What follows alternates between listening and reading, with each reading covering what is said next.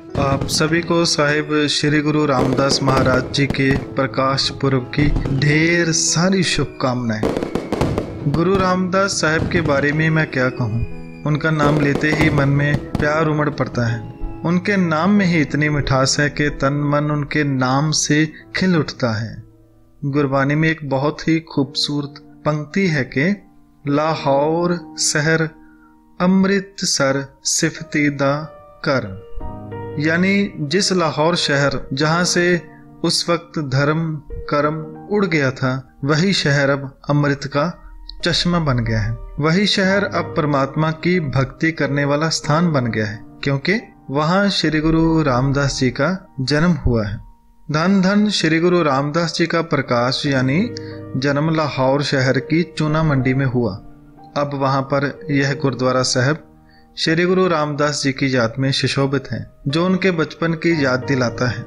गुरु साहब के पिताजी का नाम हरिदास जी था और माता जी का नाम माता दया जी था। गुरु रामदास जी का नाम उनके माता पिता ने जेठा रखा, क्योंकि वह घर की पहली संतान थी, इसलिए उनका नाम जेठा रखा। पंजाब में जब कोई पहला बच्चा जन्म लेता है तो उसको जेठा कहते हैं। गुरु साहब ने अभी तो बचपन भी पूरी तरह देखा नहीं था कि उनके सिर से माता पिता का साया उठ गया। और वह यतीम हो गए। यह समा बहुत असह था। माता पिता का ना होना ऐसा है जैसे सिर पर आसमान ना होना। उस वक्त रिश्तेदारों ने भी मुँह फेर लिया कि हम इसको क्यों संभालें। तो वहाँ पर गुरु साहब की नानी जी थी। उन्होंने गुरु साहब जी को कहा कि आप हमारे साथ चलें। तो गुरुजी अपनी नानी जी के साथ बासर के, जो के जो के अमृतसर साहिब के नज़दीक तरन तारण में है। वहाँ पर आगे। बासर के वही गाँव है जहाँ पर गुरु अमरदास जी का जन्म हुआ था। इस गाँव में गुरु रामदास जी ने उनकी उपमा सुनी। उनके बारे में इतना सुना कि उनसे मिलने का मन हुआ। उम्र चाहे गुरु साहब की छोटी थी, मगर उनका मन बहुत ही मज़बूत और प्रेम से भरा था। वह अपने नानी के घर तो आ गए थे, मगर नानी भी बड़ी मुश्किल से घर का गुजारा कर पाती थी। तो गुरु साहब ने छोटी उम्र में ही काम करना शुरू कर दिया ताकि वह खुद का और नानी का पेट भर सके।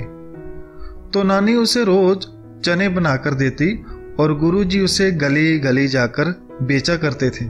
ऐसा काफ़ी दिन चलता रहा, लेकिन उनके मन में गुरु अमरदास जी से मिलने की चाह साथ साथ उनके चली आ रही थी।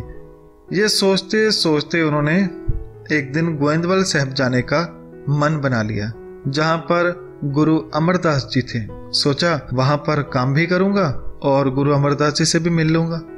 गुरु अमरदास और भाई जेठा, यानी गुरु रामदास जी जब मिले, इसके बारे में भी गुरबाणी में बहुत खूबसूरत भट्टों ने लिखा है कि, गोविंदवाल, गोविंदपुरी, समजल्यन तेर विपास बनायो गयो दुख दूर बरखन को, सो गुरु मुख देख, गुरु सुख पायो। अर्थात कि जिस सतगुरु, यानी श्री गुरु अमरदास जी ने, जो जय नगर गोविंदवाल, जो ब्यास नदी के किनारे बनाया, उस शहर को बसाने वाले गुरु गुरु अमरदास जी को मिलके मुझे बहुत आनंद आया। गुरु रामदास जी बता रहे हैं कि मुझे गुरु अमरदास जी से मिलके बहुत आनंद आया।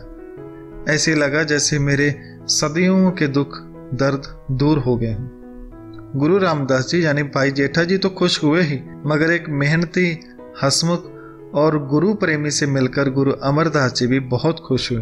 उन्होंने भाई जेठा जी के सिर पर हाथ रखा। तब से भाई जेठा यानी गुरु रामदास जी, गुरु अमरदास जी के साथ ही वहाँ पर रहकर उनके साथ सेवा निभाने में लग गए, वहीं ही रहने लग गए। गुरु जी वहाँ पर सेवा भी करते थे?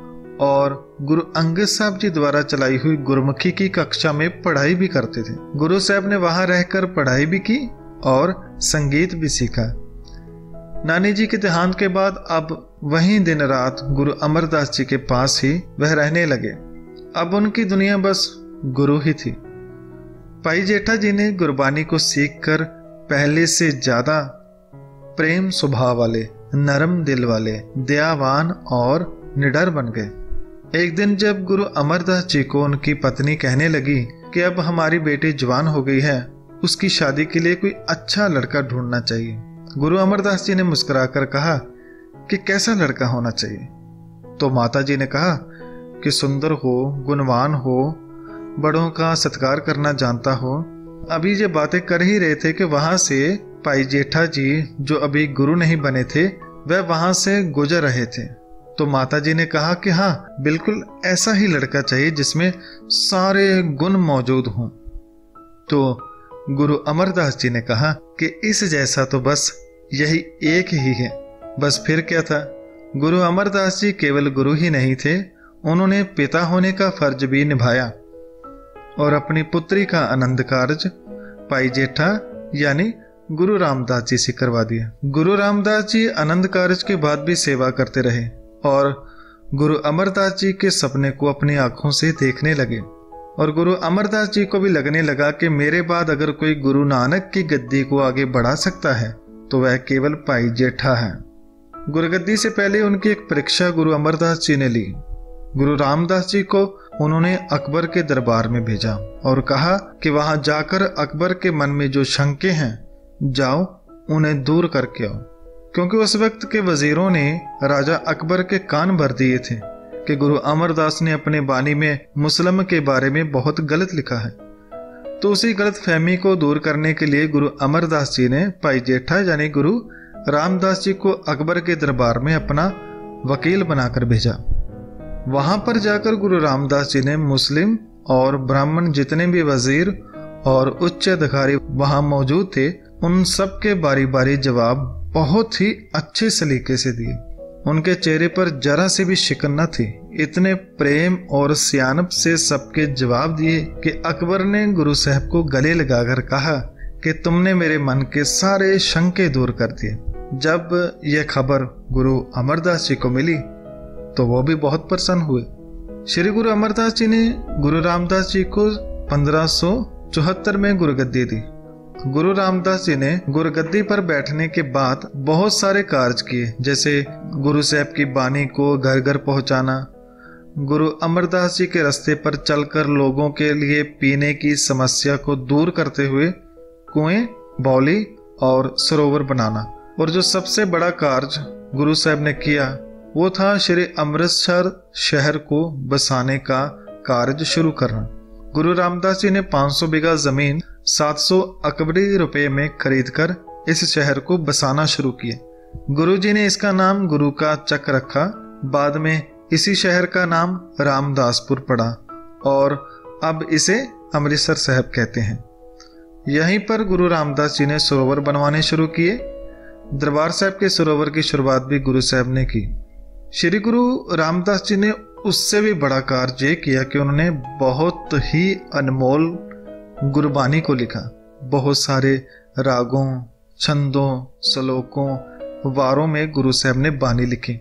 जब आप गुरु साहब की बानी को पढ़ोगे ना तो आपका रोम रोम, प्रेम और वैराग से भर जाएगा। बहुत ही खूबसूरत गुरु नानक जी के बताए हुए मार्ग पर चलकर गुरु रामदास जी ने बानी लिखी और भी काफ़ी कार्य जो गुरु साहब ने किए।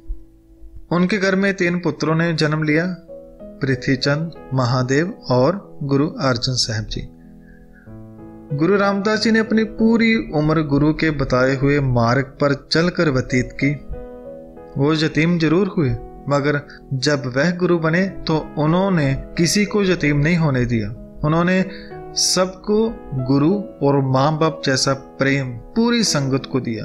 मैं ऐसे महान सतगुरु श्री गुरु रामदास जी को कोटि कोटि प्रणाम करता हूँ, जिन्होंने अपनी पूरी ज़िंदगी मानवता के लेखे लगा दी। और एक बार फिर, श्री गुरु रामदास जी के प्रकाश पर्व की मैं आप सबको ढेर सारी शुभकामनाएँ देता हूँ। तन तन, रामदास गुरु, जिन सिरिया, तिन्हें सवारिया। धन्यवाद। वाहिगुरु जी का खालसा, वाहिगुरु जी की फतेह।